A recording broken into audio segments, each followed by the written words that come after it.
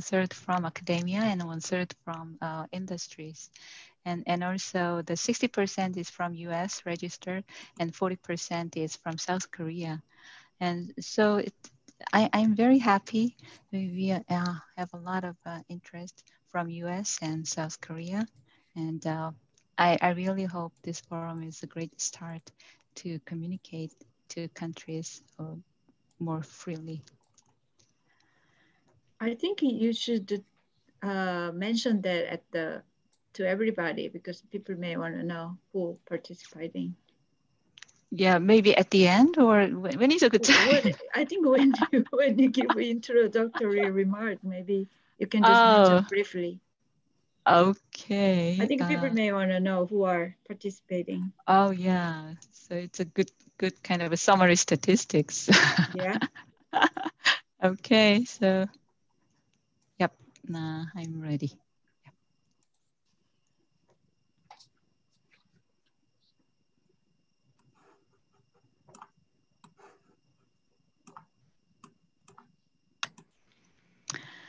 Oh, great.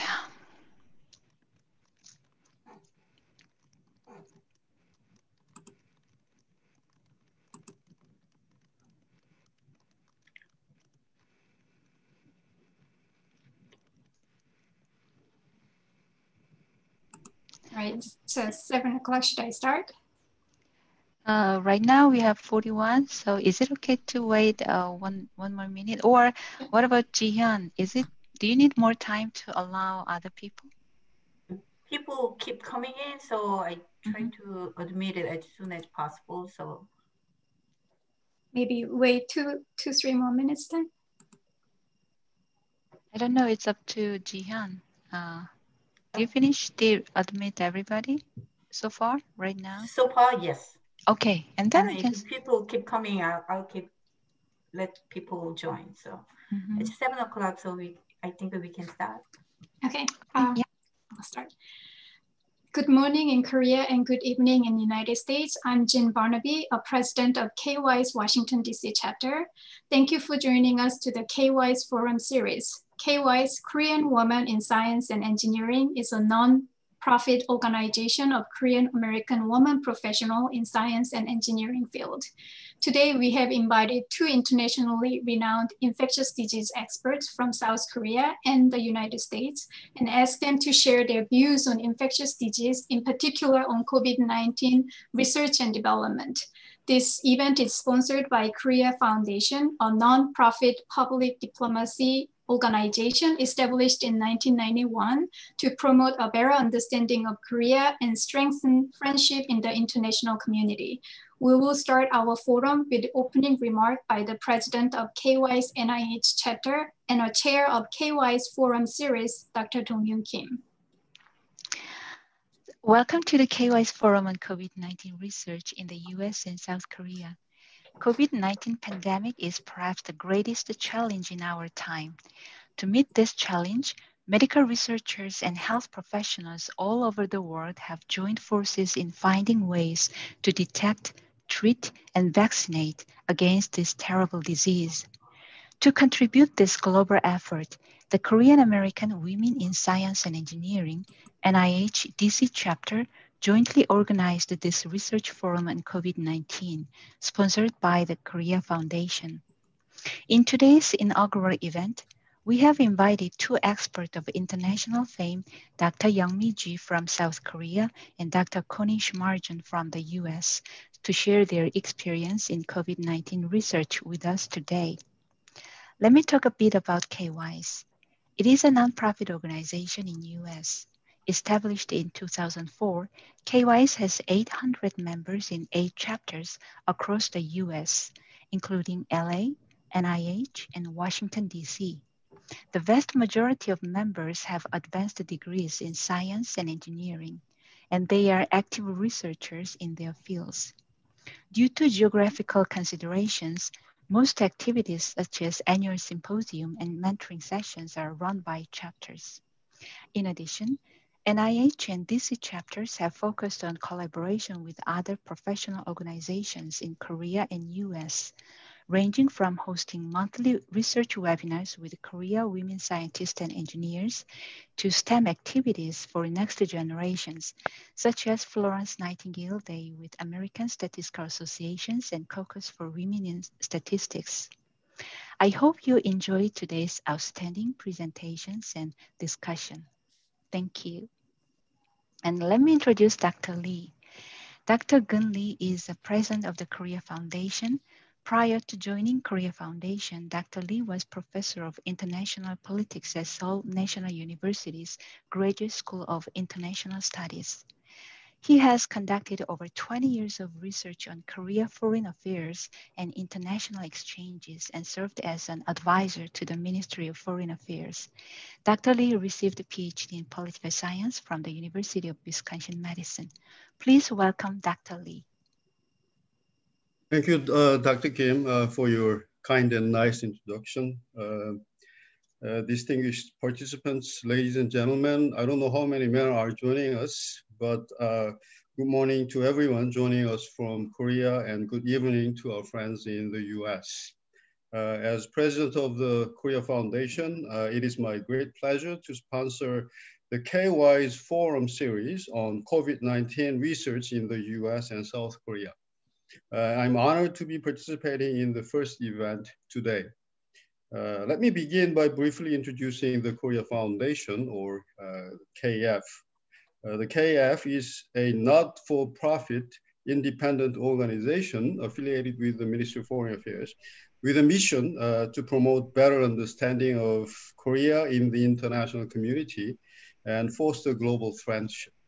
Uh, so far, the KF has largely focused on promoting uh, Korean studies at overseas universities and think tanks, as well as on invitation programs and cultural exchanges with many countries around the globe.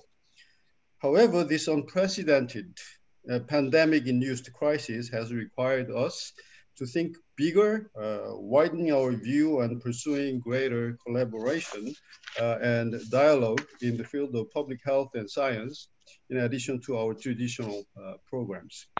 Uh, we are dedicated to promoting uh, such a dialogue as one method of tackling this tremendous global issue in collaboration with other countries. Uh, the KF is happy to share Korea's transparent and scientific response uh, to COVID-19, uh, learn from others' experiences, and discuss global health issues in the long run uh, in the in the long term, in the long run, in the long term. Uh, throughout this year, uh, the KF has organized or sponsored many webinars on COVID-19 in cooperation with think tanks and universities across the United States.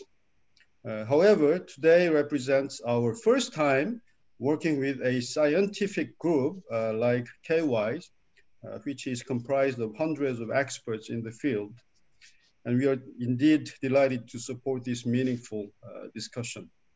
Uh, we have some excellent panels to start off this forum series. Uh, I look forward to hearing the insights of Dr. Uh, Ji, uh, whom I have been fortunate uh, to work with since April of this year after she was appointed as the KF's Special Representative for Health Diplomacy. It is also a great honor to have the US top expert uh, in infectious diseases, Dr. Uh, Connie Schmaljohn. Uh, incidentally, I was delighted to learn that she was a former president of the International Society of Hantaviruses, which were first discovered by a Korean virologist, Dr. Ho-Wang Lee, who happens to be my father. And I hope today's event will help us better understand the way the pandemic proliferated as well as what strategies can be taken uh, to flatten uh, the recurring curves in the world. In closing, uh, I would like to express my sincere gratitude to all our invited guests and experts for coming together here and now. In particular, my appreciation goes out to all the members of KWiSE for your devotion, passion, and expertise in making this forum possible. Uh, through cooperative efforts like today's dialogue, I am certain we can turn the challenges of COVID-19 into opportunities. Thank you very much. Uh, before I introduce our speaker, let me briefly talk about today's agenda. We will have 30 minutes talk by, by two speakers and Q&A session will be held after both present, presentations are complete. So please type your questions or comments for the speakers into the chat box. Then Dr. Park, who is the moderator, will share your comment and questions with the speakers during the Q&A session. Let me introduce our first speaker. It's my great pleasure to introduce our first speaker, Dr. Youngmi Ji, who is going to talk to us about infectious disease R&D in Korea.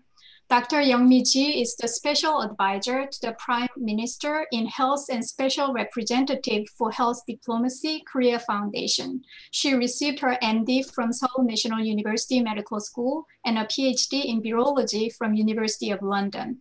Dr. Ji has broad experience in collaborating with WHO and international public health partners. Currently, she is a member of the WHO International Health Regulation Emergency Committee on COVID-19 and a member of the WHO Scientific Advisory Group for the Blueprint on Research and Development Preparedness for Epidemics. From 2007 to 2014, Dr. Ji worked for the expanded program on immunization in the WHO Western Pacific region. And from 2014 to 2019, she served as a Director General of the Center for Infectious Disease Research of Korea Centers for Disease Control and led various international activities, including the WHO Korea Joint Mission on MERS outbreak in 2015, and the WHO International Health Regulation Joint External Evaluation JEE on National Public Health Emergency Response Capacity in 2017. And as a result, she received the President Medal of Distinguished Service in 2017. Please join me in welcoming our first speaker, Dr. Ji. Thank you very much for a very kind introduction. Um, so first of all, I want to thank you for inviting me to the uh, KWiSE forum today. Uh, it is my great privilege to share the um, infectious disease R&D situation, including uh, COVID-19 research in Korea with you. So let me just uh, share my slide with you.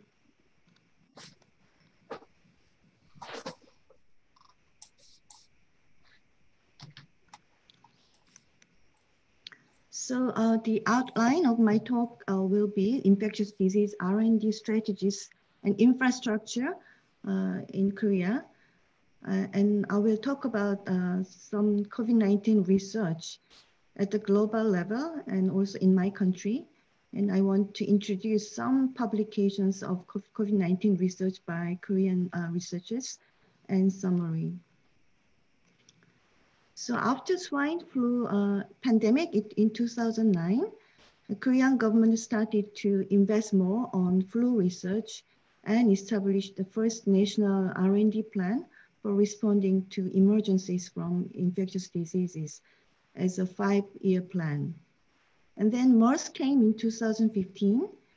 Uh, so a government um, established second uh, R&D plan to, to invest more on uh, emerging infectious diseases.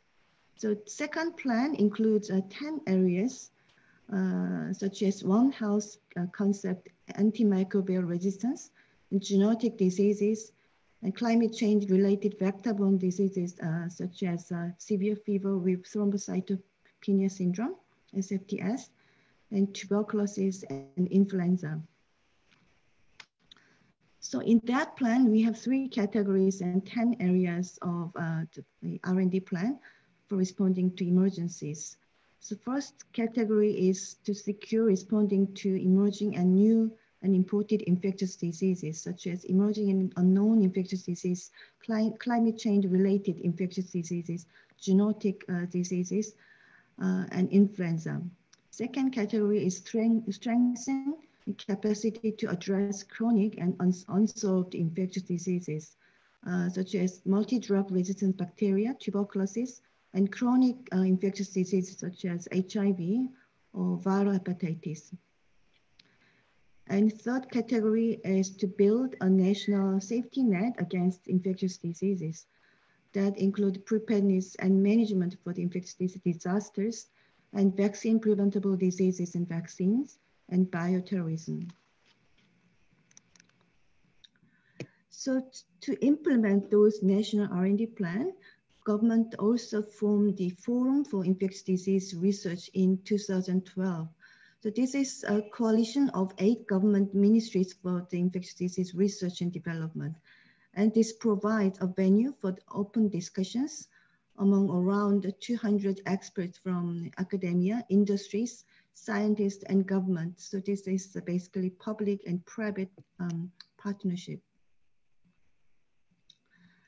So if you see the government investment for the infectious disease R&D uh, from 2013 to 2017, you can see how much has been invested for each areas for, for basic science, therapeutics research and vaccines and diagnostics, surveillance and control, strategy and guidance and infrastructure. So in total, it's around uh, 900 million US dollars for, for five years. Then uh, government launched the first uh, kind of government-wide R&D fund for the infectious disease research, GFID, in 2018 as a five-year plan. So uh, eight in this uh, fund, eight ministries are participating for preparedness for importation of new and emerging diseases, uh, including the um, disease surveillance and monitoring, modeling, and information collection and database and also for the field response, um, uh, developing multi-antigen screening test kit and, and, and, personal protective equipment, and also risk communication and, and ICT-based monitoring of self-quarantined people. So this fund is basically uh, for, the, for the field response uh, research. The second uh, government-wide um, initiative is for the antimicrobial resistant research based on One Health concept. This is also a five-year plan uh, that was launched in 2019. So different ministries are also participating in this uh, fund. Uh, and you can see that uh, not only humans, but also animals and food and environment, the sector should be involved in this um, research project. Then uh, the, the uh, Ministry of Health and Welfare launched the, uh, I think this is probably the biggest infectious disease R&D uh, launched by the Ministry of uh, Health and Welfare. The, this was uh, launched in actually this year as a 10-year plan with the 570 billion US dollars for vaccines and diagnostics and therapeutics. And so you can see what has been included in the list for the vaccines. So that uh, that's next generation uh, vac uh, TB, tuberculosis, and universal flu, and SFTS, uh, uh, um, as I mentioned earlier, and inactivated Japanese encephalitis, and hepatitis A, and hand foot mouth disease, norovirus, and DTIP combination vaccine. And you can also see what has been selected for the diagnostics and therapeutics. And also we have a research uh, investment for Global Health uh, Technology Fund. Uh, this is for the global uh, initiative. Uh, this is rather innovative funding mechanism following the model of GHIT in Japan. So Korean government, the Ministry of Health and Welfare is supporting 50% of the fund and 25% is supported by Bill Gates um, Foundation and then another 25 by Korean companies.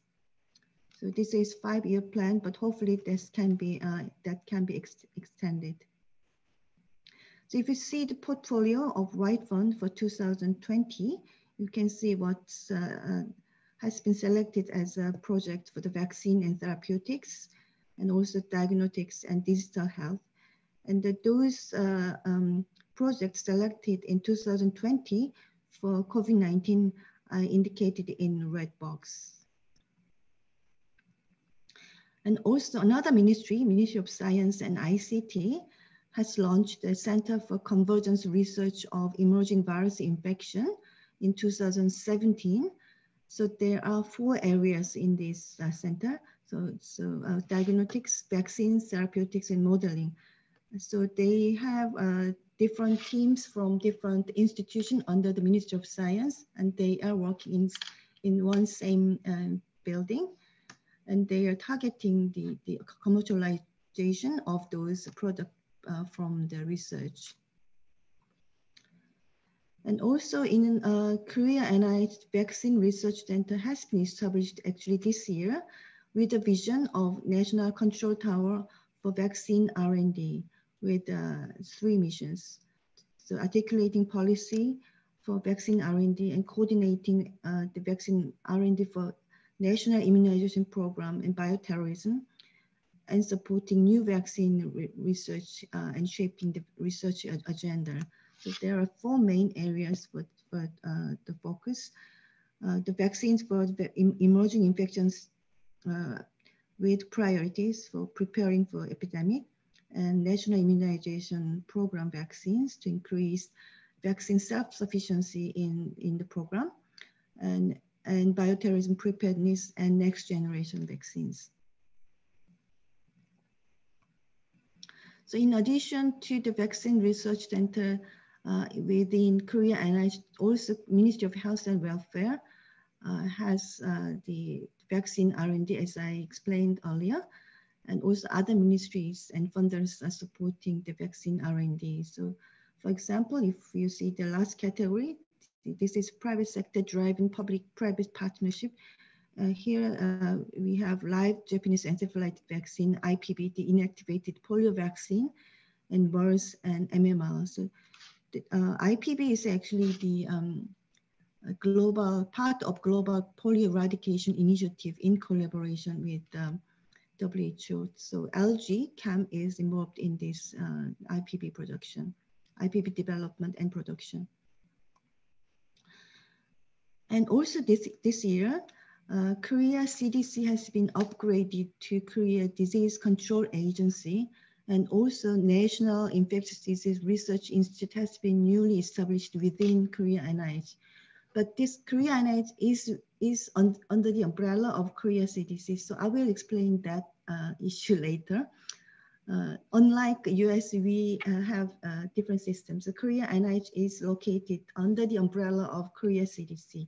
So Korea Infectious Disease Research Institute is uh, within NIH, but it's still uh, umbrella under the umbrella of Korea CDC.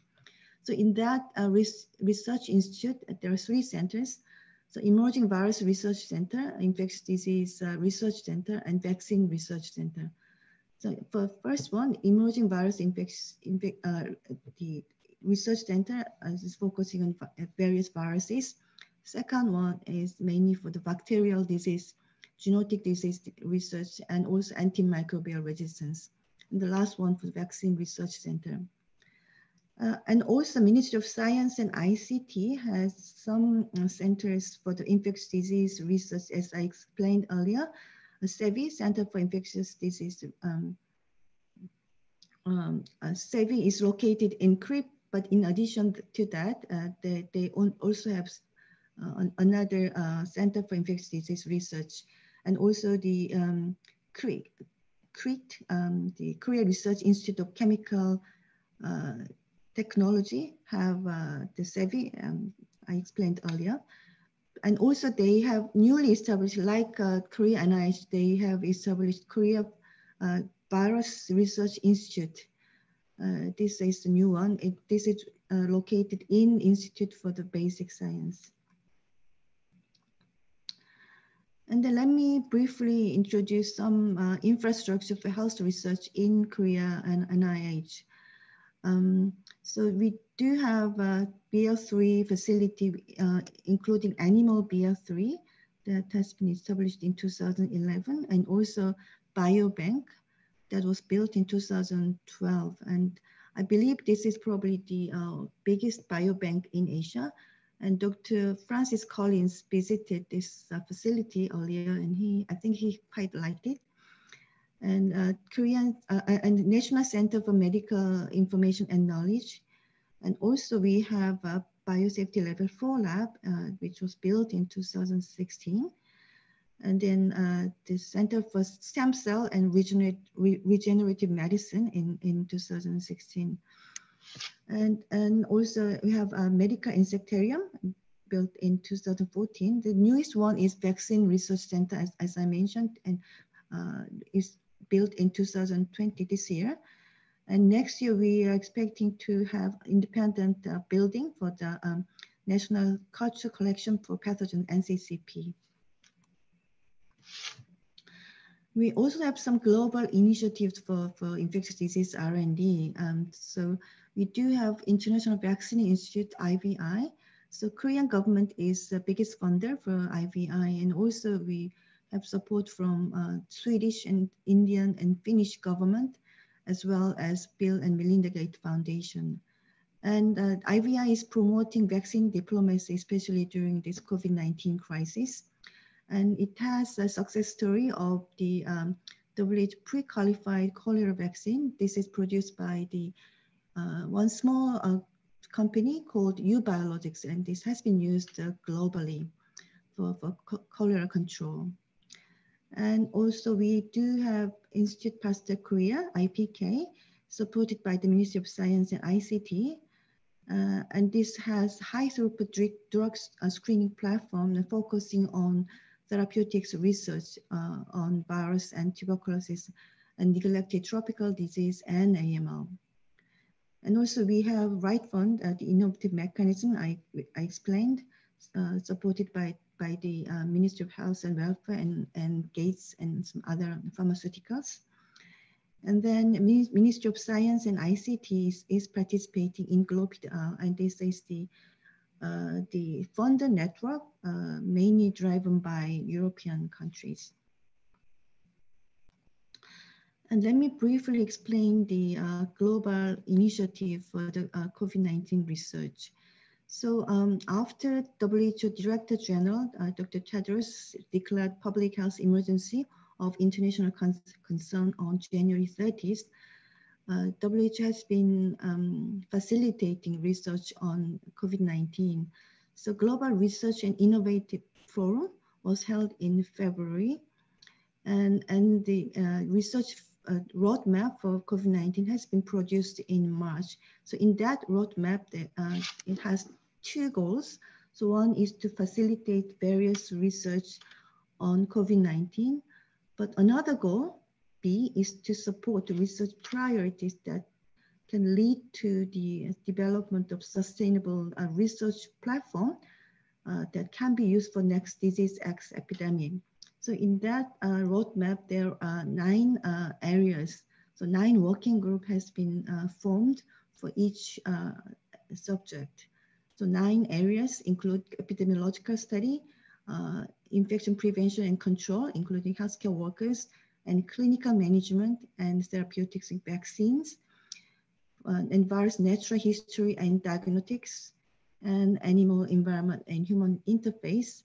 And also you can see two other cross-cutting areas, um, uh, such as ethical considerations and social science.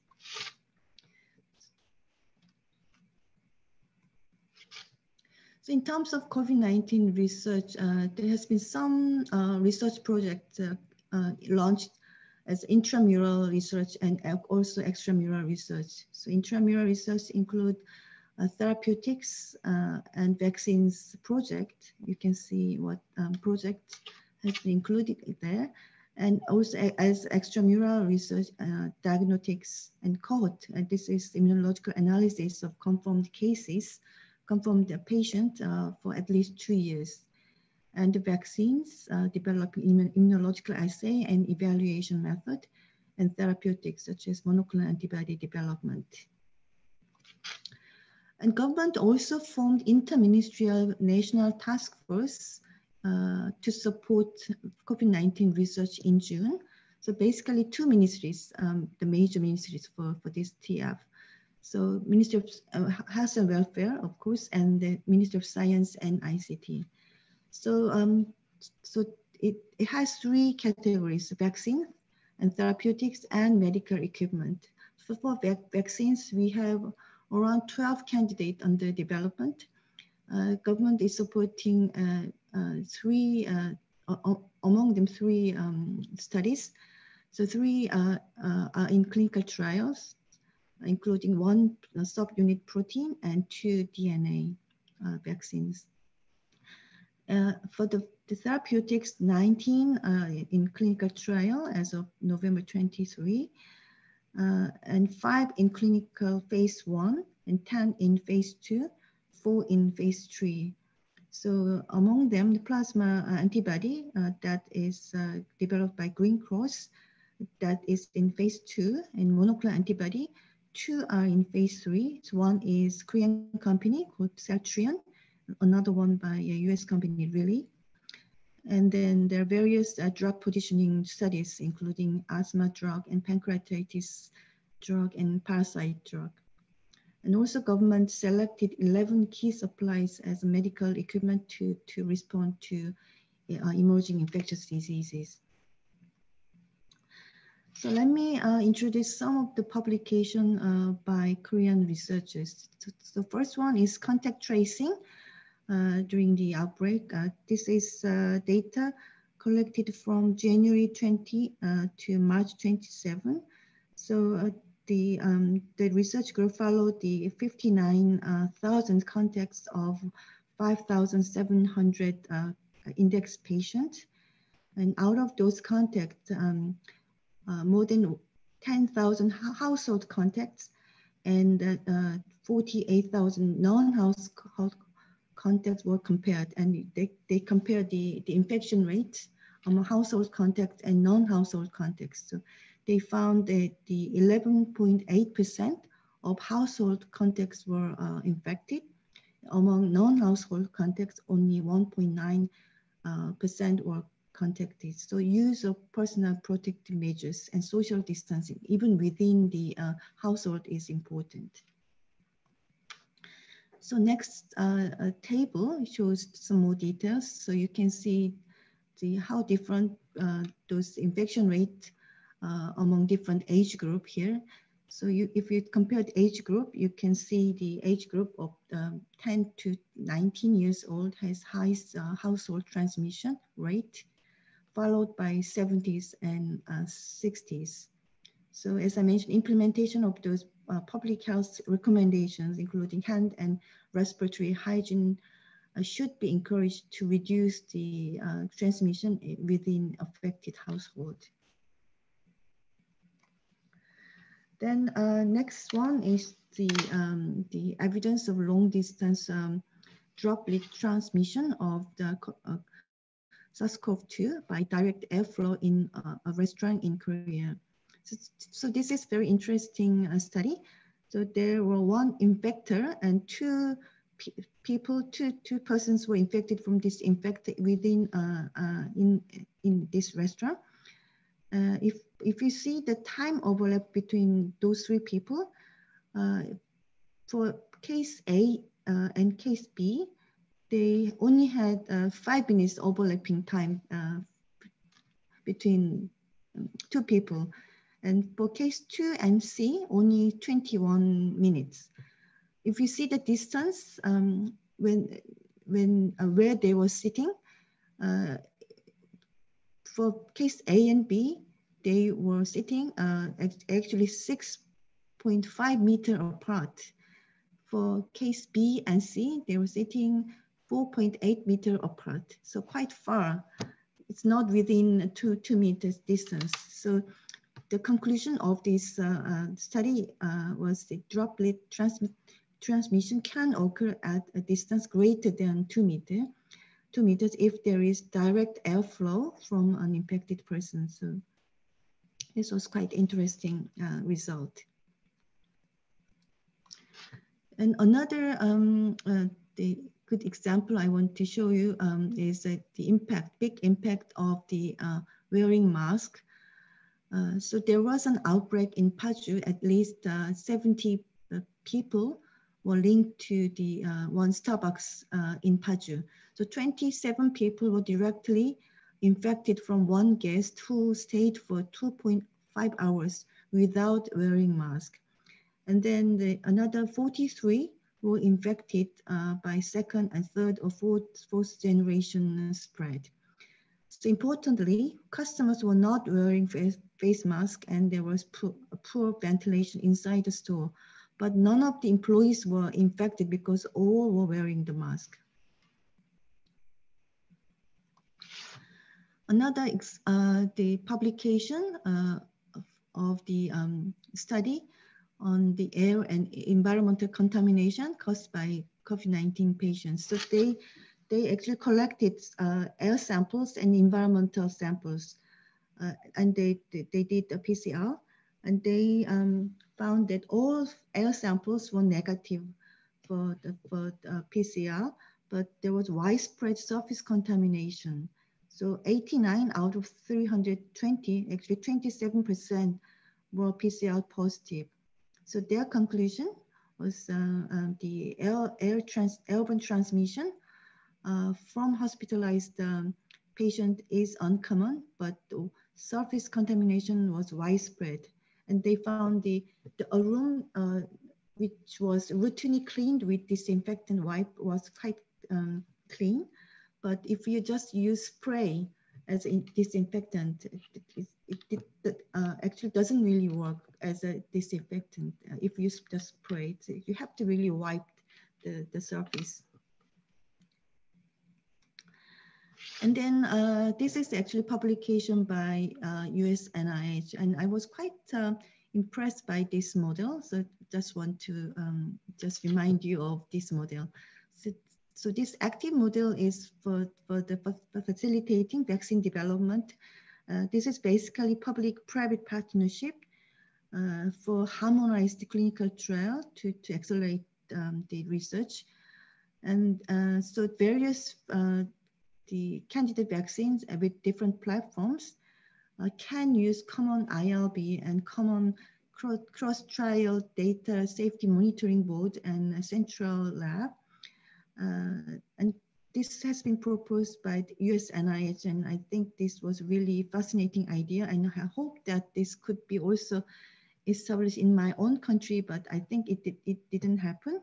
But anyway, uh, I suppose this has been actively ongoing in, in US NIH and hopefully that kind of mechanism can be also um, uh, launched in my country for, for, for the future.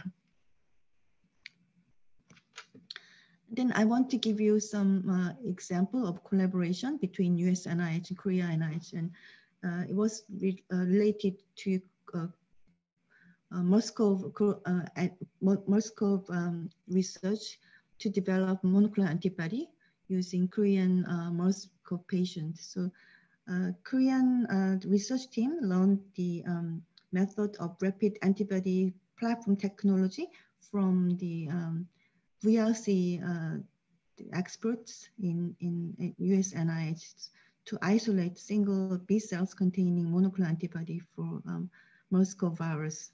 So this ha method has been uh, used for some other viruses such as SFTS, severe fever with, with thrombocytopenia syndrome, and also uh, COVID-19. So as a summary, infectious disease research in Korea is led by two main ministries, uh, Ministry of Health and Welfare and Ministry of Science and ICT. And uh, the new um, the establishment of National Infectious Disease Research Institute within uh, Korea NIH and um, Virus Research Center uh, within the uh, IBS uh, hopefully can really facilitate the infectious disease research in Korea. And also the, for the vaccine research, uh, Vaccine Research Center in uh, Korea NIH will, um, will coordinate all those vaccine, national vaccine research. And as I mentioned, the uh, government switched some of the project, the previous project, to COVID-19 research to develop vaccines and therapeutics and diagnostics, and also launched new project on clinical and epidemiological, and also seroprevalence study and cohort study, and to develop diagnostics, therapeutics, vaccines, and medical equipment. So um, government will continue to support developing vaccines and therapeutics while purchasing the vaccines from foreign companies and through COVAX mechanism. Actually, yesterday, government announced the uh, purchasing AstraZeneca vaccines. We don't know how, how many uh, uh, doses, but uh, anyway, this was the first announcement from the government to purchase COVID-19 vaccine. And prompt uh, emergency use authorization of uh, COVID-19, the testing kits in early February uh, by uh, Korea FDA uh, enabled three, three standard strategies of um, COVID-19 response, um, testing, tracing, and treatment. In terms of testing, the positive rate is around 1% in Korea. For countries with high instance of infection, actually this can be very high, uh, such as 20% to, to 50%. So this was possible because of uh, the emergency use authorization. And government is trying to continuously revise the national guidance for COVID-19 uh, based on findings from epidemiological investigation and, and uh, studies uh, that include mask, use of facial mask and social distancing.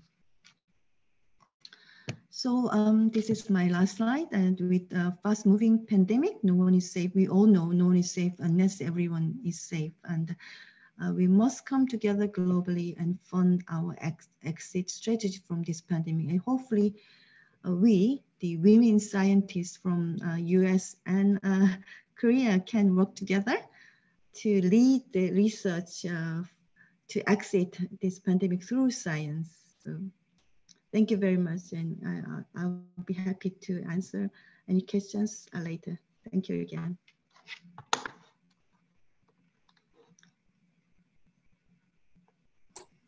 Thank you very much, Dr. Ji, for your informative talk. Uh, as I said earlier, we will have a Q&A section after the second talk, so we will move to the second speaker right away. Okay, uh, it is my great pleasure to introduce our second speaker, Dr. Connie Schmalzon, who is going to talk to us about COVID-19 studies at the NIAID Integrated Research Facility. Dr. Schmalzon is the director of the National Institute of Allergy and Infectious Diseases, NIAID, Integrated Research Facility at Frederick, Maryland. She received her bachelor's degree in microbiology from the University of Nebraska and a PhD in virology from Colorado State University. Before joining NIAID Integrated Research Facility, she was a senior research scientist for medical defenses against infectious disease threat for the US Army and directed a research program at the US Army Medical Research Institute of Infectious Diseases, USAMRIID. She has served on Interagency Public Health Emergency Medical Countermeasure Enterprise, PHEMCE, Viral Hemorrhagic Fevers IPT, and the Board of Scientific Counselor for the NIAID Vaccine Research Center, as well as the Scientific Advisory Council for the Coalition of Emergency Preparedness Innovations. She was elected to the American Academy of Microbiology in 2007 and was selected as a fellow of the International Society for Vaccines in 2015. She received the Order of Military Merit and the Association of Military Surgeons of United States Research Award in 2002 and the Presidential Rank Award in 2017. Please join me in welcoming our second speaker, Dr. Schmalzon. And am I able to share my screen now? I think I need yes, to- Yes, please, yes. nope, that's not me. Uh, Dr. Lee, could you? Uh, Dr. Schmalzon, you should be able to. Uh... Okay, yes, now I can. Okay and I hope you can see it. I will put it in full mode in just a second, but I've got, there's just something I have to take a minute to do first. I am so excited to be meeting Dr. Gyun Lee, the son of Professor Lee Ho Wang, who has been a friend of mine for many, many, many years. He, I have so many happy memories of meeting with him throughout the world. And I have mementos from many of those meetings in this office I'm sitting at. And I just have to show you two of them if you can see me, this is a book that Professor Lee Hwang gave me in 2012 when I visited him in Seoul. And you can probably read what it says, but I couldn't. So he wrote on the inside of it for me, to dear Connie, the title is Lee Hwang, The Life of a Great Man, for Children in Korean. And it's signed uh, with compliments and love, Hwang Lee. And the second thing I have that is memorable, uh, Professor Lee Wang started the International Society of Hantaviruses, and this was from the very first meeting in Seoul in uh, 1989, which I attended. So anyway, this was a nice surprise and a happy surprise, and thank you for introducing yourself, Dr. Yun Lee.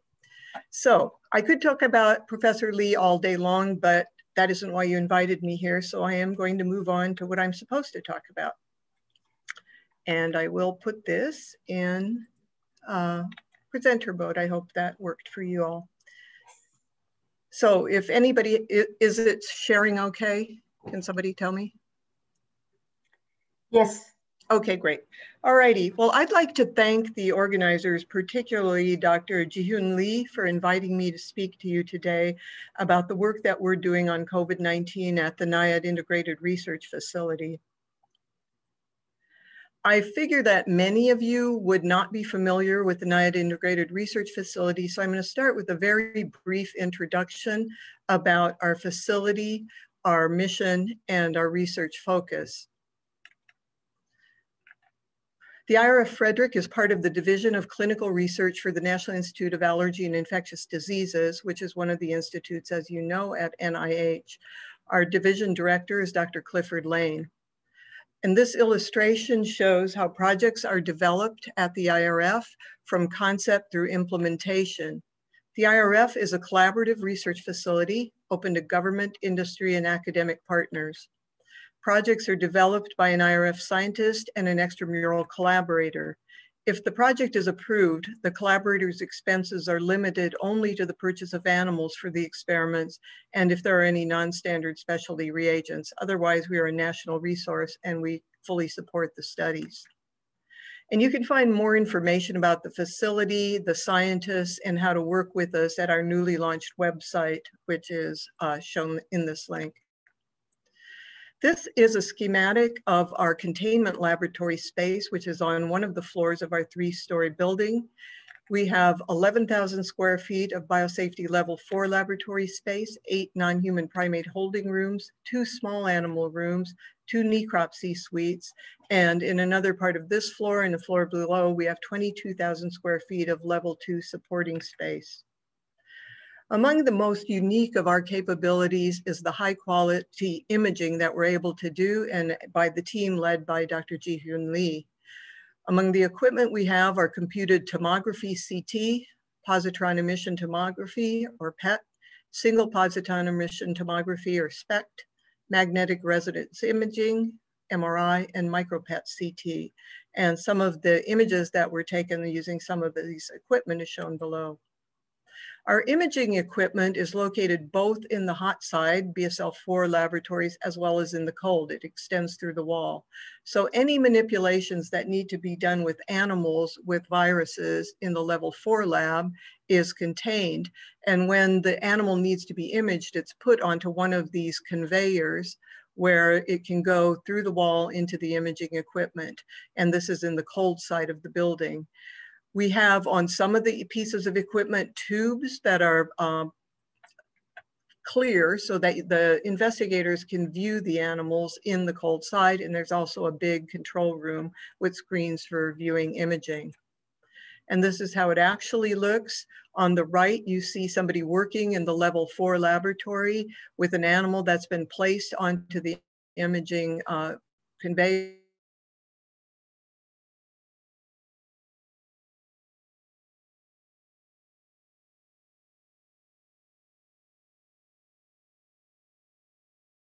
the new uh, micropet CT, which has allowed us for the first time to be able to image in high definition these smaller species such as mice, guinea pigs, and ferrets.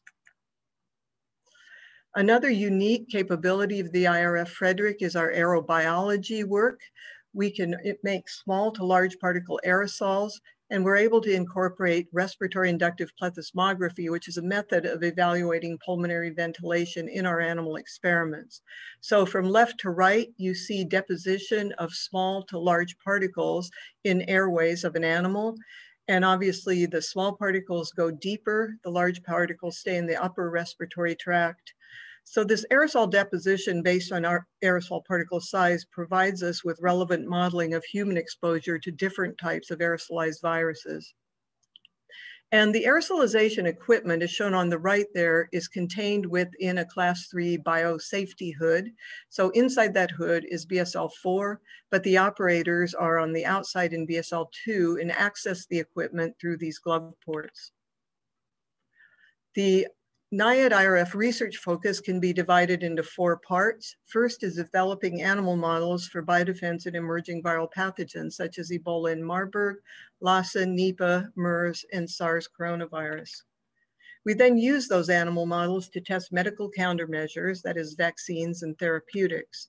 We also work with partners to identify mechanisms of pathogenesis with an emphasis on the use of our unique imaging and aerosolization capabilities. We also have an outbreak response group that supports clinical studies in outbreak settings, such as during the Ebola outbreaks in Africa. As for most of you, probably since March, almost all of our studies have focused on SARS-CoV-2, which will be the topic of the research portion of my talk. So just to summarize some of the SARS CoV-2 work that we've done at the IRF since March. We've done in vitro work such as high throughput live virus neutralization assays, antiviral compound testing, ELISAs to different parts of the SARS uh, proteins of the viral, viral particles, and produce large and small particle aerosols, aerosols and characterize those. In vivo, we've developed monkey models, hamster models, and then have used these models to evaluate the efficacy of antibodies in, well, in the hamster model. And I'm going to be talking uh, in the rest of this talk today about the high throughput live virus assays and parts of the modeling and assessment work that we have done. So I'm going to begin with the high throughput live virus neutralization assays. SASA was developed to support NIH's clinical trials of human convalescent plasma being used to treat COVID-19 patients. At the IRF, we receive de-identified convalescent COVID-19 patient sera or plasma for testing.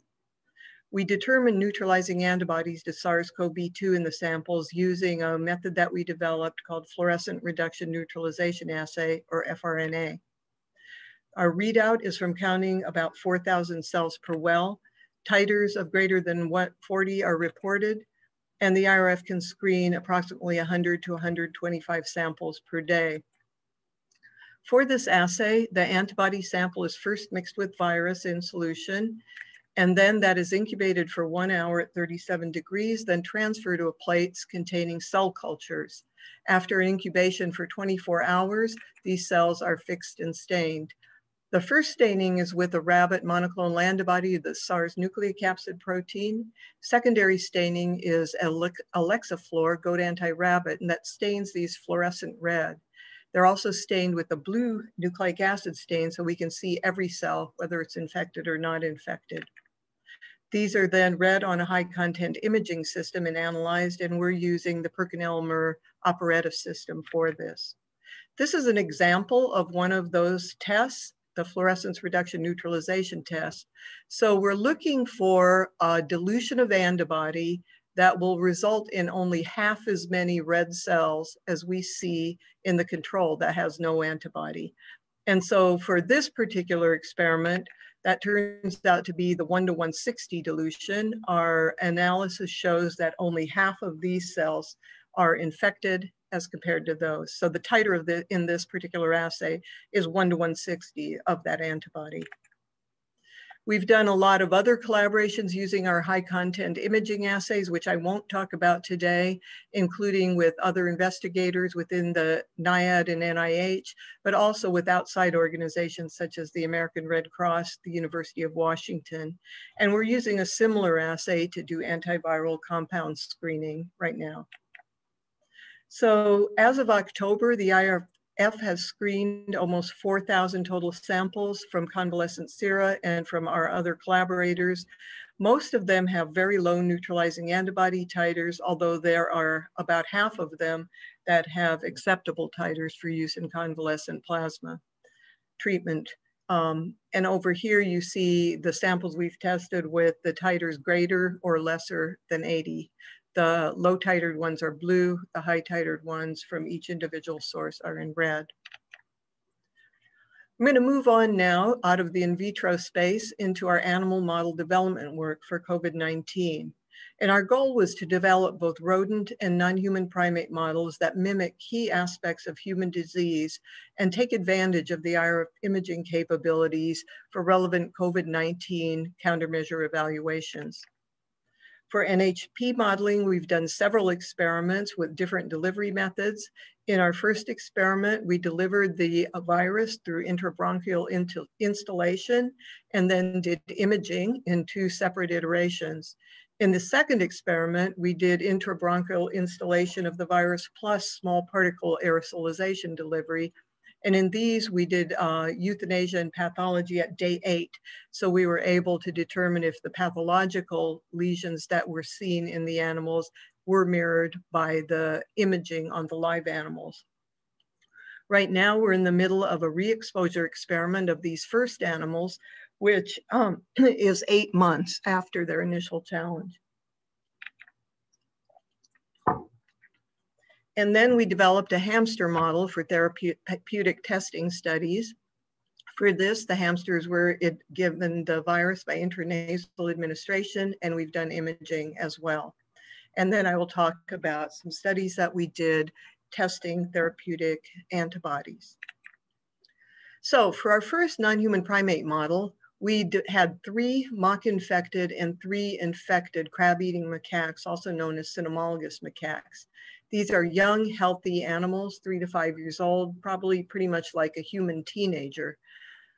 They uh, all got direct intrabronchial installation of virus as shown on the left with using a pediatric bronchoscope to directly deposit two mils, two times 10 to the six PFUs per bronchus of the SARS-CoV-2 virus. We observed these animals for 30 days and looked for cage side observation of HELP we took viral loads in nasal swabs and swabs from other areas. We measured antibody responses, cytokine responses, and then in the subsequent study where we did the euthanasias, we compared histopathology and pathology to our imaging studies that were done here by CT and PET CT. And this is a 3D image of one of the lungs from the animals, and I'm gonna talk a little bit more about that in my next couple of slides. When we look at the uh, disease in these animals, we and everybody else that has tried to develop a non-human primate model finds that they develop very low level disease. Um, they're probably pretty much like a young human where they develop an inapparent disease in most cases. So we really couldn't see anything like fever or shaking or, you know, anything that would be a clinical sign. The only thing we did see was in transient leukopenia at day two after infection. Measuring antibodies in these three animals, we got three different results um, on each of the three animals by ELISA, as in the top graph, and by neutralizing antibody assessment using our fluorescence reduction assay on the bottom. One of the animals had high levels of antibodies, both by ELISA and by uh, the focus fluorescence reduction assay. The other one in blue had an intermediate antibody response, and then the one in green had very low level response. If we look at how those findings correlate with the viral load in these animals in their nasal swabs, it kind of makes sense. The animal uh, macaque number three in orange with the high levels of antibody had very little virus that could be detected beyond day four in its um, nasal swabs, which is there in blue. The macaque that was in blue in the graph above here with intermediate levels of antibody did have more virus and it lasted longer. And then the antibody with hardly any antibody had the highest levels of um, viral load. So if we compare the lungs of these animals shown in each of these great 3D renderings, which was done by Ji-Hyun's team, Dr. Marcelo Castro, we see the blue in here are the air are the airways, the red are the vessels, and yellow are lesions that were detected in the lungs by imaging. The gray part is normal lung tissue. So if just looking at one of these in macaque V3, this is the animal that had the most severe disease. This is at day four. What we're seeing here is by the purple arrows, ground glass opacities with air bronchogram in the right posterior lung, essentially meaning that the animals have a um, air filling up in their lungs. And then with the blue arrows, we see ground glass opacities, and air bronchogram, and consolidation, and that's shown in blue and the blue. I don't know what these red lines are there. If you see them, uh, they just appeared. I don't know what they are. Um, so for, we were also able to do semi-quantitative CT imaging and re read that by our radiologist he looked at these uh, images from days two through day six, eight, and 12, and came up with a scoring. Um, do you, do you all see these red lines that keep appearing? Does anybody? Yes. Okay, I, um, do you think I should exit and try to restart? Oh, yeah, I, I, Let's don't know I don't know what the, showing. I have yeah. no idea what those are.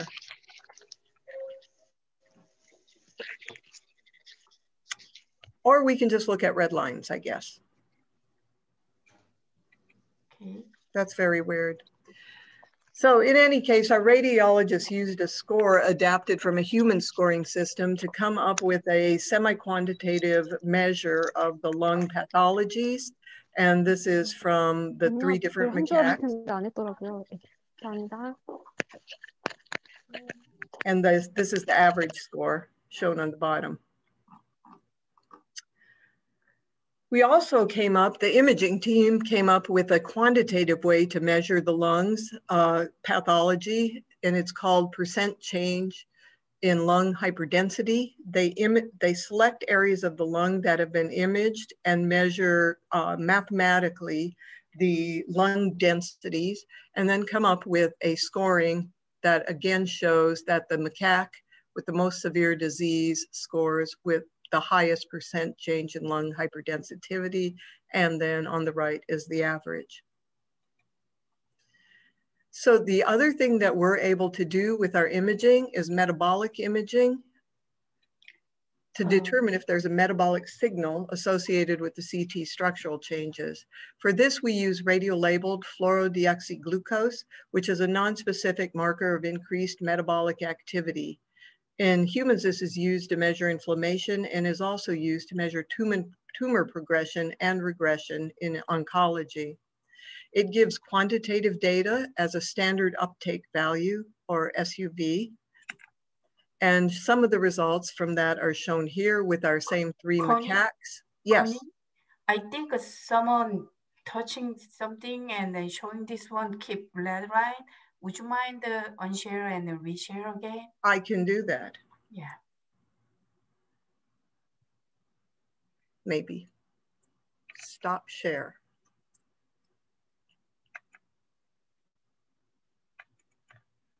Goody, went away. That's great, thank you. Let's go back to my mode.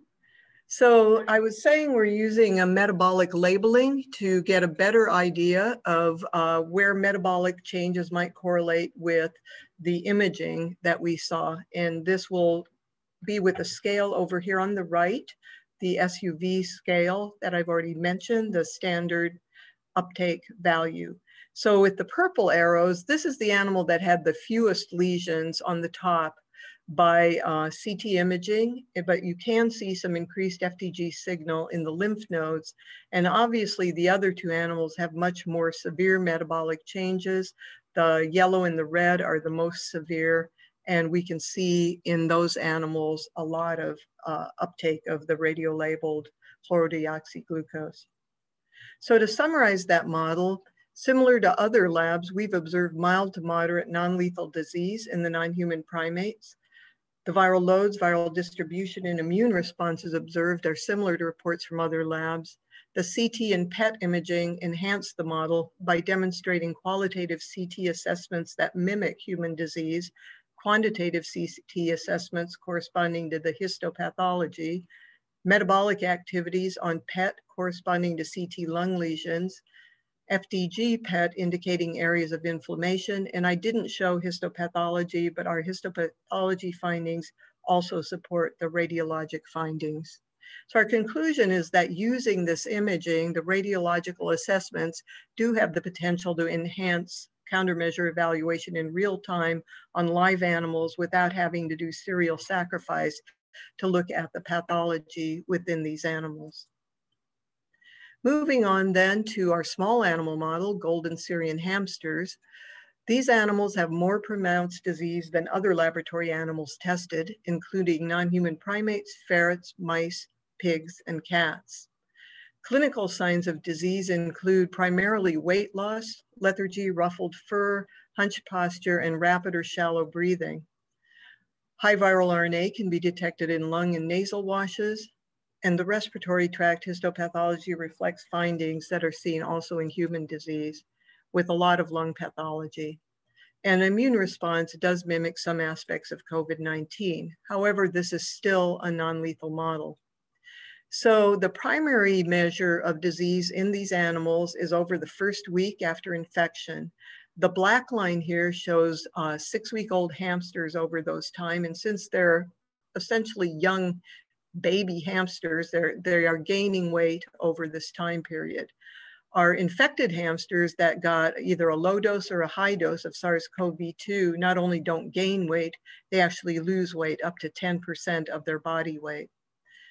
Old hamsters, like old humans, fare even worse. On the black, since these are adult old hamsters, they're not expected to gain weight, but their weight does remain constant. But when they're infected with SARS-CoV-2, they can lose up to 20% of their body weight. These animals the, have a high level of virus found at, as early as day two and extending out through day eight, both in their nasal washings as well as in their lungs. If we look at the pathology on the left, the control lung looks very nice.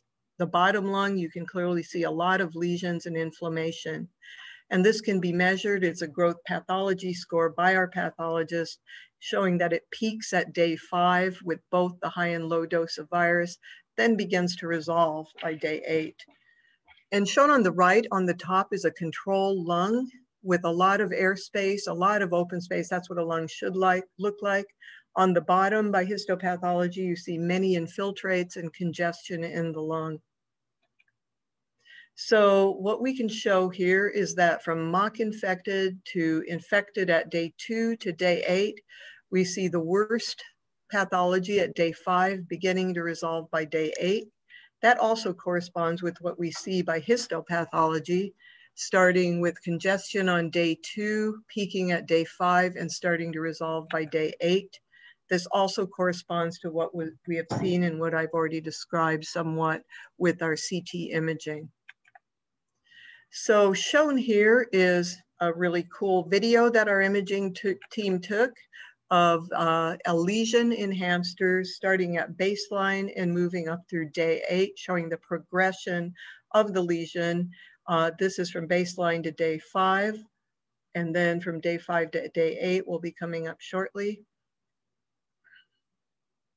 And again, when you start seeing the yellow development, which you will shortly here, by day five, um, this is a severe lesion is indicated by this SUV max scale. You can also see it on this graph on the right, day two peaking at day five, starting to resolve by day eight. So the final thing I want to talk to you about today is how we can use these models to do something actually useful. And the study I'm going to talk about is something that is done with, as a collaboration with the Department of Defense through Operation Warp Speed, which is a public-private partnership initiated by the US government to facilitate and accelerate development, manufacturing, and distribution of COVID-19 vaccines, therapeutics, and diagnostics. Many agencies with the US, within the US government participate in Operation Warp Speed, including us at the National Institute of Health and the Department of Defense. For the studies that I'm going to describe very briefly, we're working with another part of NIAID, with um, BARDA, and with the Health and Human Services, and with the D Department of Defense. The IRF investigators involved are shown here, and those from USAMRIID are shown here. So in this study, what we are doing is taking many antibodies that are already in clinical trials in humans and comparing their protective efficacy in, in hamsters in side-by-side -side experiments.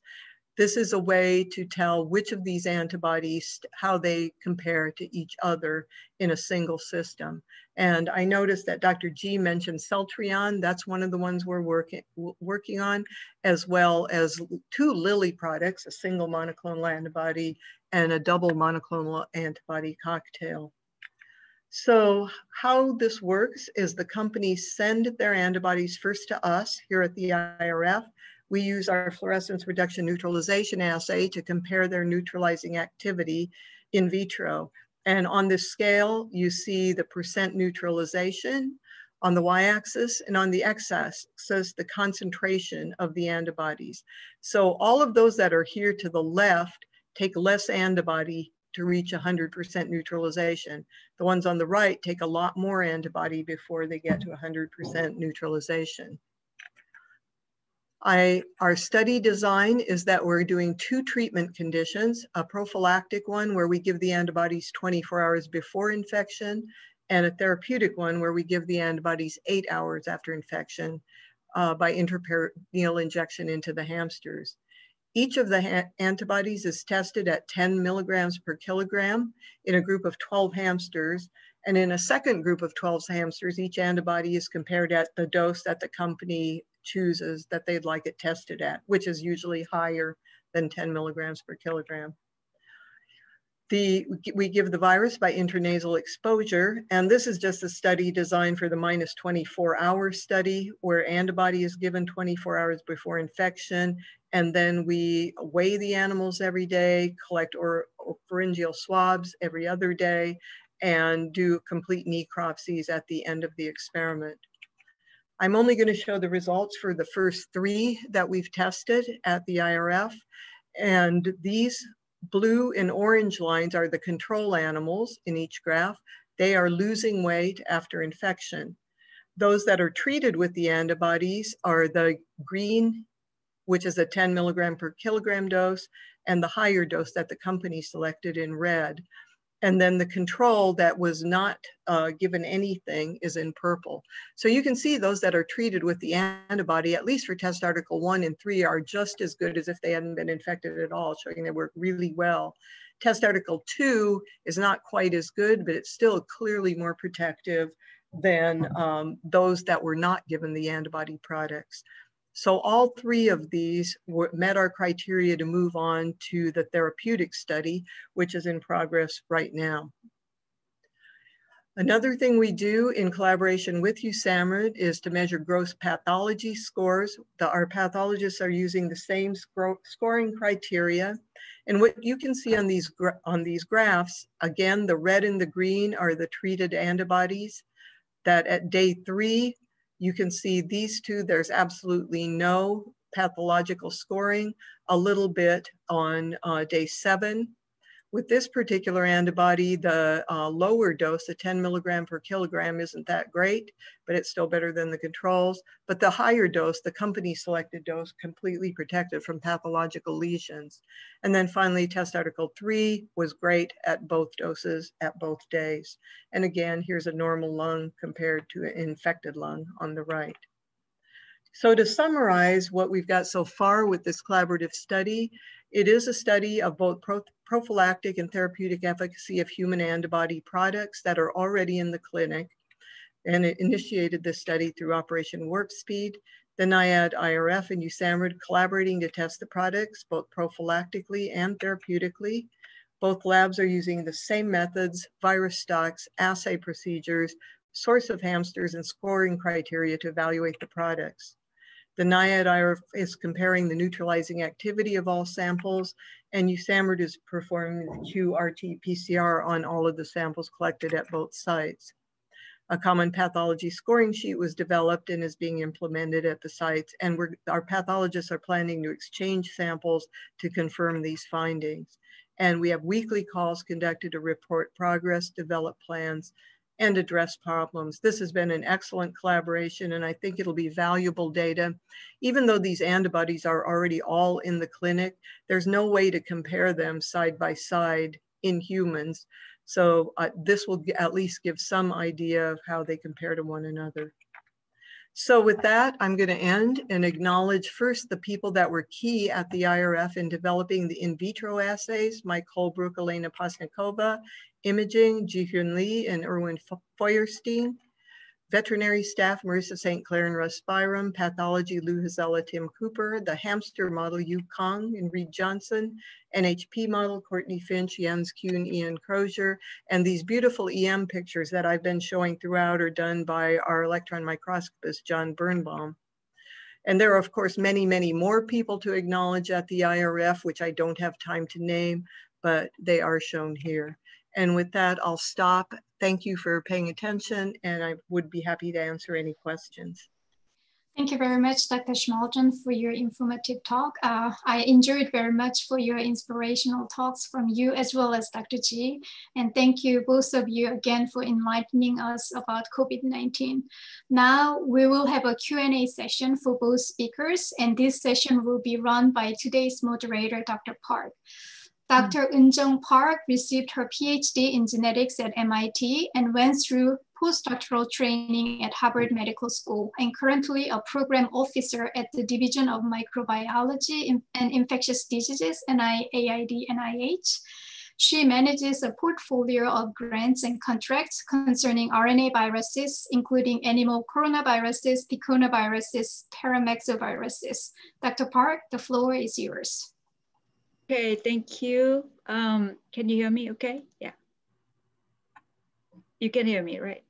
Yes. So uh, we have a very, it's just, just fabulous talks and thank you so much. So um, I will go to the specific questions being asked first, and I'm hoping to get some uh, at the end, uh, the ways to maybe setting up collaboration between two countries. So the first question is going to Dr. G, um, asking when uh, when Korean uh, diagnostics been uh, uh developed, uh, when when when did you get the COVID-19 sequence so that this uh, test being developed? This is from Anna McClung.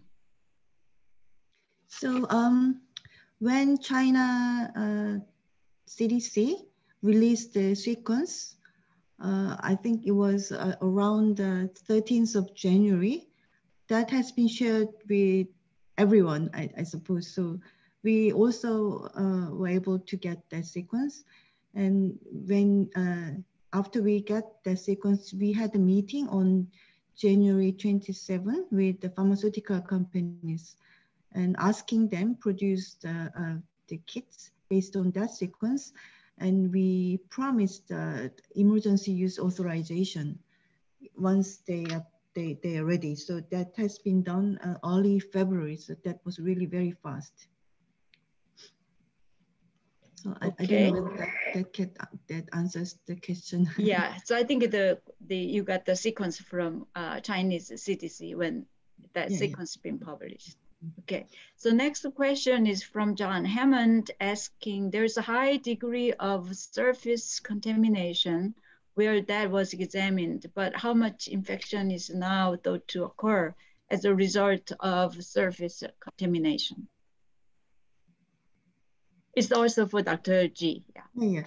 Uh, so actually that's the uh, comparison of air samples and uh, surface uh, samples uh, from a room state uh, which the patient stayed. So I, I, think they just try to see how uh, risky those uh, the surface um, contamination could be.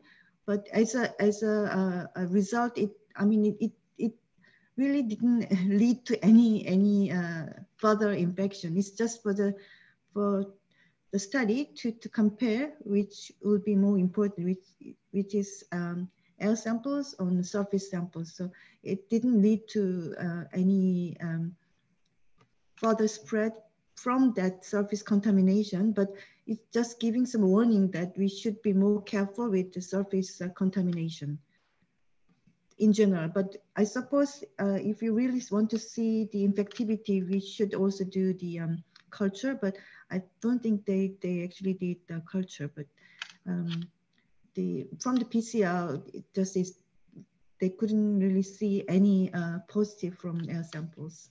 So that's just for the comparison rather than a real world situation.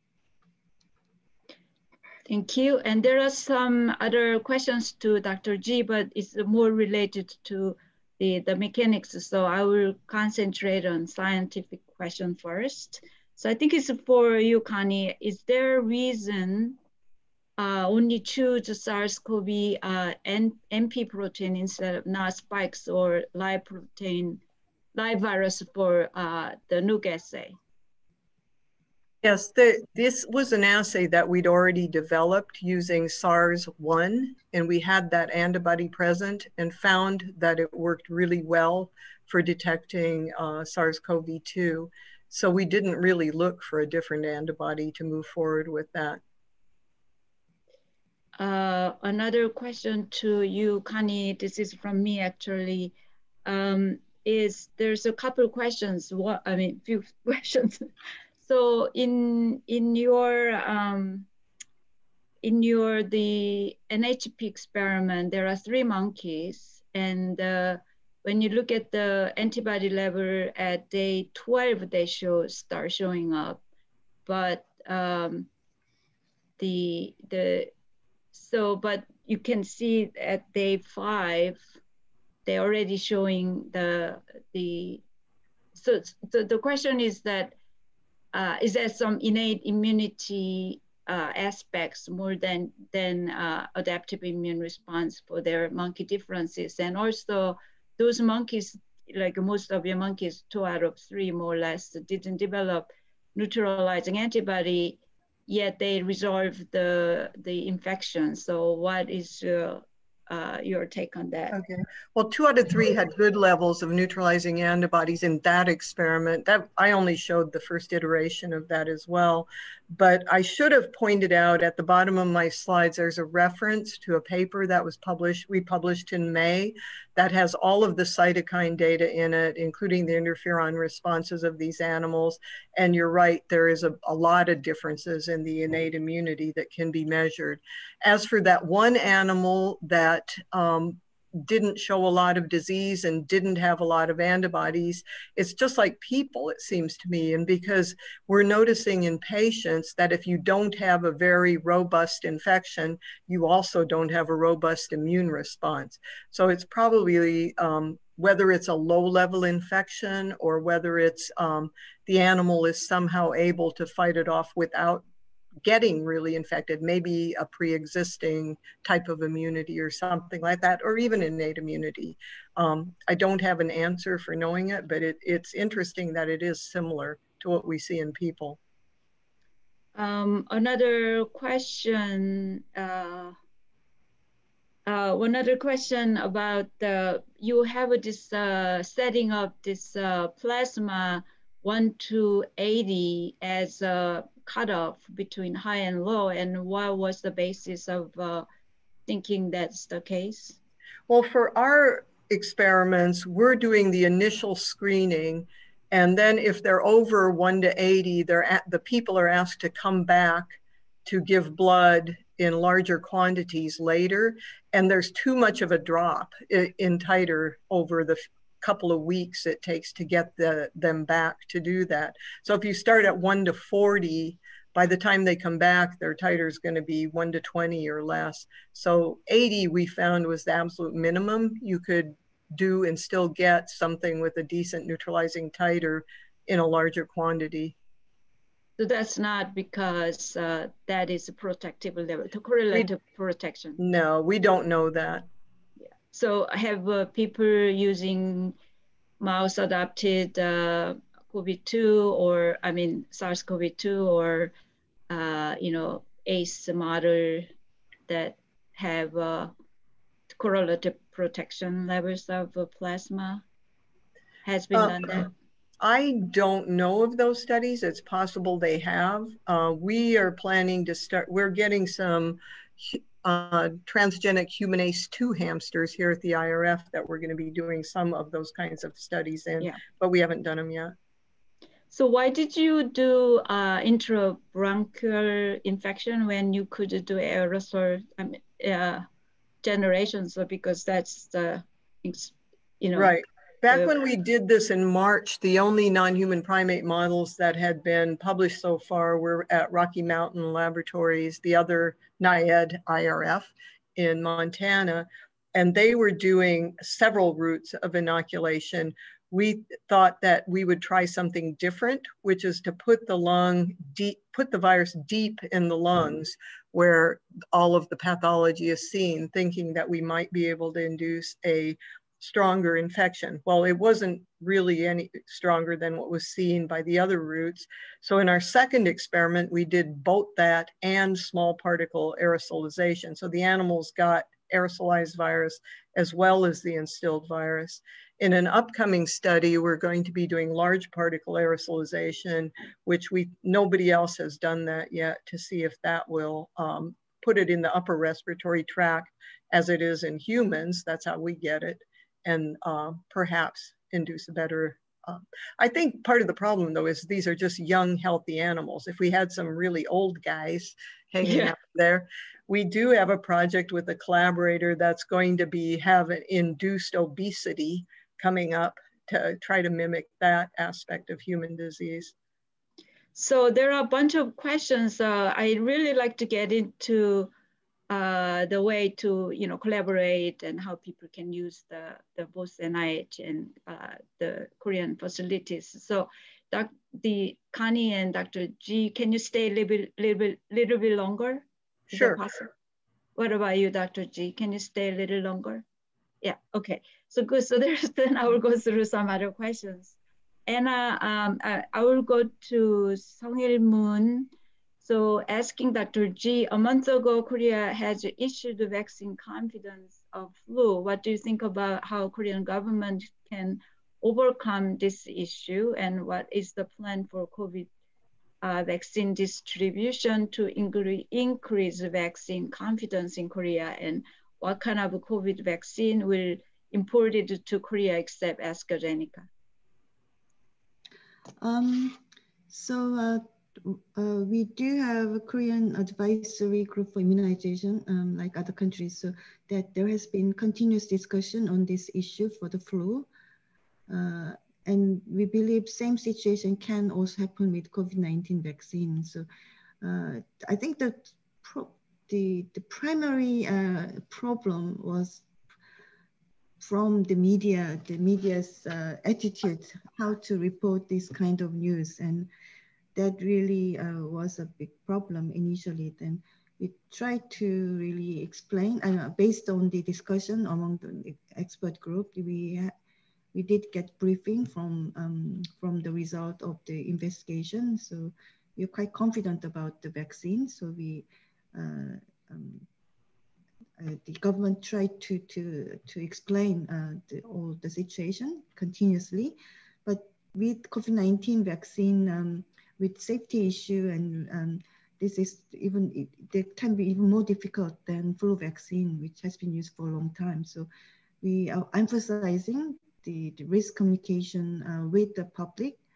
uh, regarding COVID-19 vaccines. The government is going to um, uh, soon finalize the, the, the national COVID-19 vaccine plan and uh, announce to, to the public. And uh, so hopefully with, with those um, communication with the public, the, the, um, the public can have the confidence in vaccination.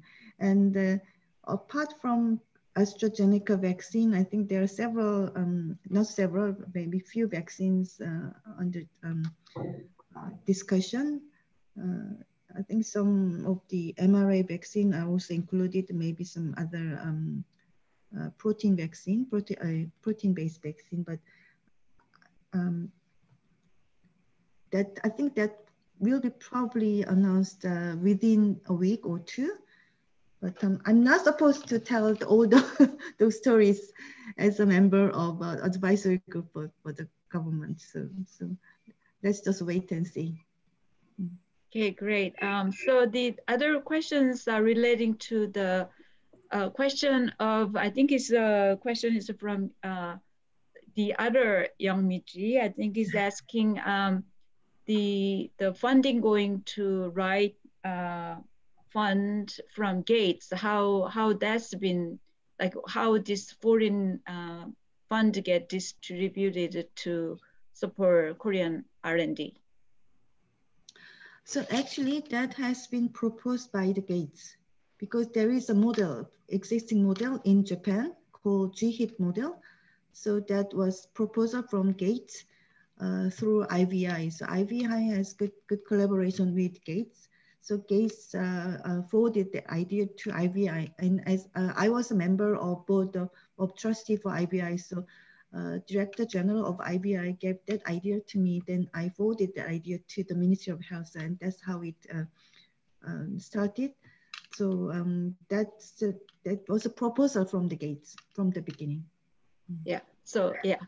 Okay. So the next uh, some kind of confidence in the uh, in in some of those health industry in in Korea.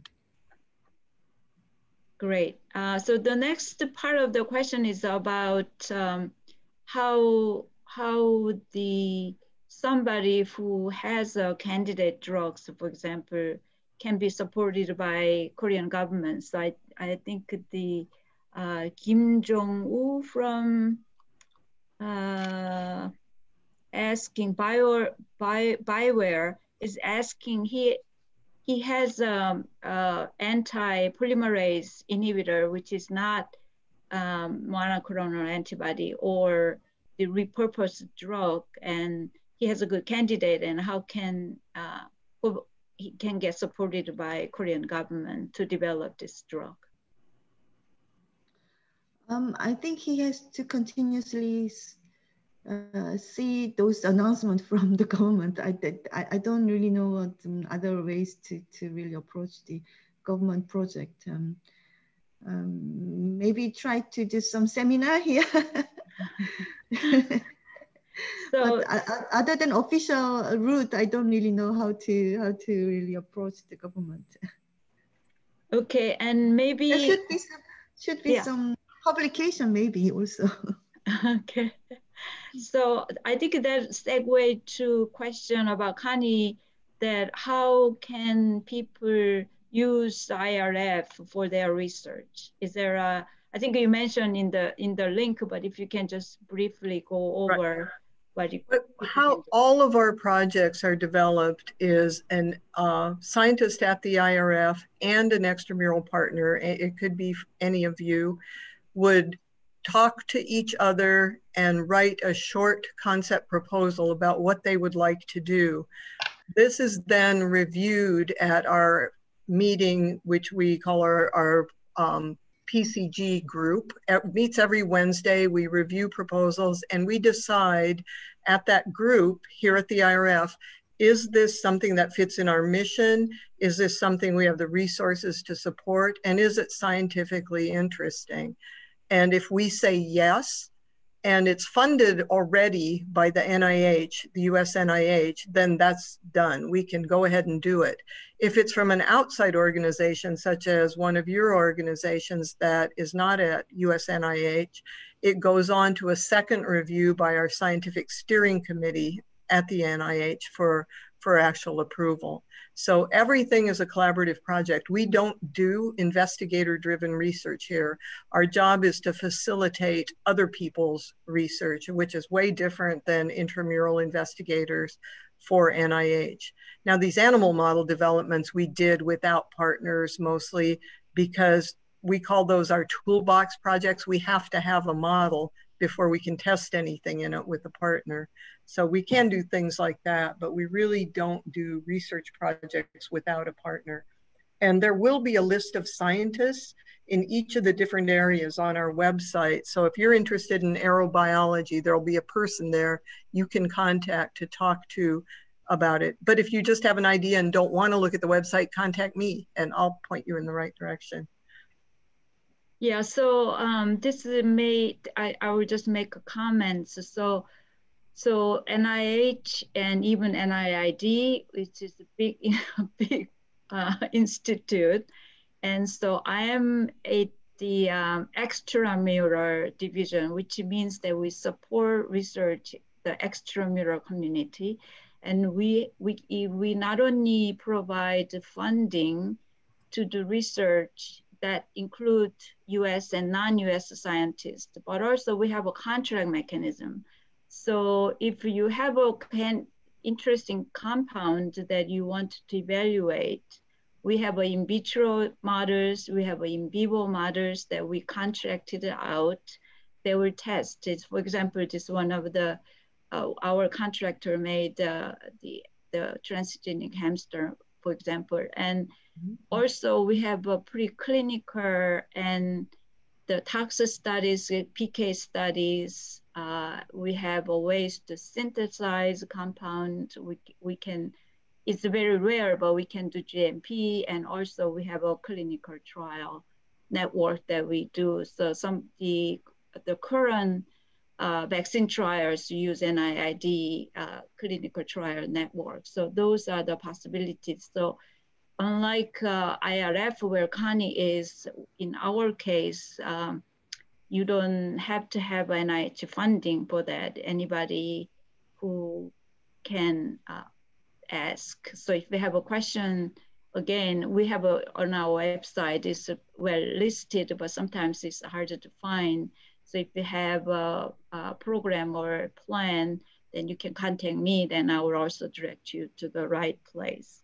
So there's another question before I get into the real collaboration type. There's a Youngmiji asking, there are clinical trials for vaccine and therapeutics for COVID-19 in Korea, how Korean government support or involved in these trials?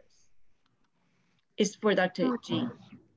So um, I think government uh, designated some of the hospitals for the clinical trials as a clinical trial network, uh, also supporting some of those uh, um, clinical trials for, for the vaccine and therapeutics. And um, um, as I mentioned earlier, the uh, government established the, the task force team for, for, the, um, for three areas, vaccine and therapeutics and, and medical equipment. So they will probably review those um, uh, candidates and, and follow up um, in those, uh, um, among those TF members. And uh, government is supporting some of the uh, the trials, not all, but um, most promising ones, I think the government is supporting, providing some funding. That will continue, I think. Um, so, so the, I have a question for you, Dr. G. Um, in terms of the One Health uh, program, so you mentioned about um, uh, you know emerging infections, including as, as, TSV, but uh, what about some other emerging infections? For example, you know, Connie worked on hantavirus. I think uh, Yanagihara showed that the shrews in near DMZ has a hantavirus and so on. So do you do they have a program, for example, surveying you know bats or tick, a lot of tick-borne virus like uh, SHTV, SB is a tick-borne uh, viruses. So is there a program to surveying what potential pathogens might it might emerge from uh, Korean wildlife? I just uh, uh, listed SFTS as one example because that has quite high mortality and is emerging pathogen in China, Korea, and Japan uh, quite recently. It's, so it has been a big problem in Korea uh, as well as in China and Japan. So I just listed as an ex example, but for other pathogens, of course, we have uh, um, hantavirus and that's kind of endemic here. It's not really that widespread, but still it's happening uh, all the time. So we do have research on that area as well. So yeah. So that you, also, you do actually survey, survey potential pathogens uh, in wild animals. Well, that will be in, in collaboration with other ministries, uh, like mm -hmm. uh, ministries. Uh, we do have some environmental, uh, Ministry of Environment. So they also, we, so for that actually, um, we want to launch. So another area we have to launch as a government-wide, the project is genetic diseases. We were trying to do that several years ago, but now I think it's time for us to really launch another uh, government-wide um, project that it, that will be genetic disease, genetic infectious diseases, I think. So we are partly doing those uh, um, uh, survey among animals, wild animals, and um, and, um, and domestic animals as well. So I, I mean the, the, the pets, but um, I think we really really have to work together to really uh, tackle this issue. Great. So I think so. We're just really getting too late, but I, I believe that there's a good uh, MOU between Korea and NIH. I think the TB program has worked really well. I think Cliff Lane uh, and some other people for NIH does great work with TB. And you mentioned the MERS uh, antibody, but how do you think you and Connie, I'm asking you to both, how do you think that uh, ways to collaborate. Of course, that this kind of forum will help because people know each other and so on, and we can distribute the participant list. But what, how you think we could move this forward? Because uh, I think both uh, countries can gain a lot of insight. I try to help uh, uh bring some uh, MERS strains from Korean CDC, but that has been a little bit difficult, for example. So, you know, what, how can we do make this uh, collaboration more functional? So, well, um, after MERS outbreak in Korea, there has been quite good, good collaboration, as I mentioned. And also, um, we were uh, organizing the bilateral symposium between US NIH and Korea NIH that I think happened uh, probably twice. And uh, next time was actually um, April this year, I think. Then because of COVID-19, it cannot, not this the next year, next April, but probably because of COVID-19 that cannot, cannot be organized, but it, there is a mechanism. So um, the, the other, the, the other uh, thing I have to mention is that there are many institutions which wants to collaborate with the USNIH under, under the Ministry of Science and ICT. But current um, MOU is between two NIH, US and Korea. So those other institutions under the Ministry of Science and ICT also need to work together with the Korea NIH to make just one group.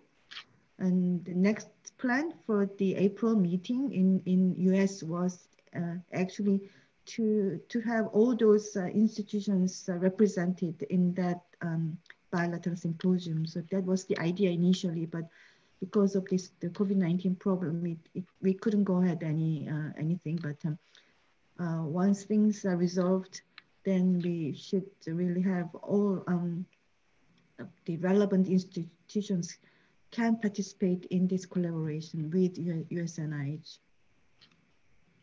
Then uh, maybe we can start from some online online meeting, uh, starting from next year. The another another uh, one uh, a lot of countries do is uh, bilateral agreement. So like uh, um, there's a U.S. U.S. China program, U.S. Brazil program, U.S. India program. Now I think they're setting up U.S. Uh, um, even Finland program. So something like that, uh, you you know, Korean government could consider uh, and contact NIH because what that does is that uh, Korean government provides some the money to the Korean scientists and U.S. Uh, government provide U.S. scientists, but they make a joint proposal reviewed by uh, NIH uh, review group. But when it is is ranked, two countries ranked, and then you kind of uh, match, so the highest priority for both countries get funded, but funding comes from individual governments. So U.S. people get U.S. money, the the other countries uh, people get other countries' money. I think that might be one another way. Connie, do you have a? We have well, I, I think you are both right. Meeting in person is really the best way to set up friendships and collaborations. But if there was some way to provide a list of funding opportunities that could be applied for by partners, um, people that know each other could do that. When I was at USAMRIID, we had a partnership, um, a grant in which we brought several Korean scientists over to our genomics center to do deep sequencing of hantavirus isolates that they collected throughout Korea. And that was a GEIS, uh, geograph, what is that, global, you know what GEIS is, I forget what it stands for, but it was a grant that they wrote together. So when these opportunities come up, if if the Korean scientists and you you're in the perfect place in trying to figure this out, what is available for people to apply for that fits within our interest area. Now, us in my my uh, laboratory, we cannot take money from the outside. We are fully funded by the U.S. government. So that's what I said in my talk. If if we have a partnership and a project that's of interest, we pay for the whole thing other than the purchase of animals. Um, we ask the partner to buy the animals for the study. Yeah, so another thing that we do uh, NIAID is we have a, this US Japan program has been going on more than 50 years now. And we, that got, focus got changed from US Japan to uh, Pacific Rim. And we having meetings every other like a viral, viral disease meeting one year and bacterial parasitology meeting. And it happened IVI one year uh, with the bacteriology uh, part of the meeting. And I have been trying to disseminate this information to Korean scientists and I was not very successful. I really did my best. I contacted everyone I know of to uh, the announce this program, but maybe uh, someone listening to he, the talk today from Korea, mm, you know, could help me to disseminate this meeting because it is a good meeting. That's where you can meet the scientists from US and the regional as well as European because we really try to invite the best of them. And we just had a meeting in Bangkok and I tried to invite a lot of people uh, participating uh, from Korea because the, registration is free, but I haven't been difficulty uh, so far. So someone can help me to disseminate, disseminate the information, that would be great. I think we kind of uh, exhausted, uh, let's see. Uh, um, so there's one other question I just, it just came uh, the could a US-based company receive a grant from Korean government for COVID-19 related R&D? Uh, if yes, what is the eligibility criteria?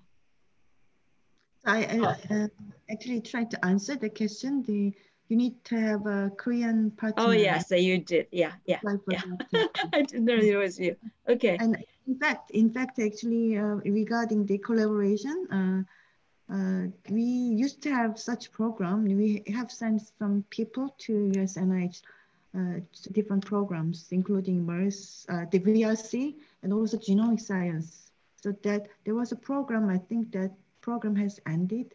So maybe try to have another one um, get, getting started. So um, used to be uh, such program in the past.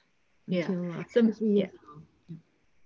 Yeah, perhaps it's making, you know, as you mentioned, that bilateral program might be a good one to start with Mm. and having people more get, um, more making connections. Mm. Uh, you know, I can, I can talk to you offline if you're interested. in- yeah. Mm. Okay, so I think that uh, concludes the, our successful meeting and I, I thank everybody just you know staying late it's almost nine o'clock uh, p.m in us and so thank you so much and again thank you for connie and dr g for participating in this exciting meeting and also for the organizers thank you and have a good night and day Thank you. Bye-bye. Thank you. Thank you very much. Bye. Thank you so much. And Thank thank you.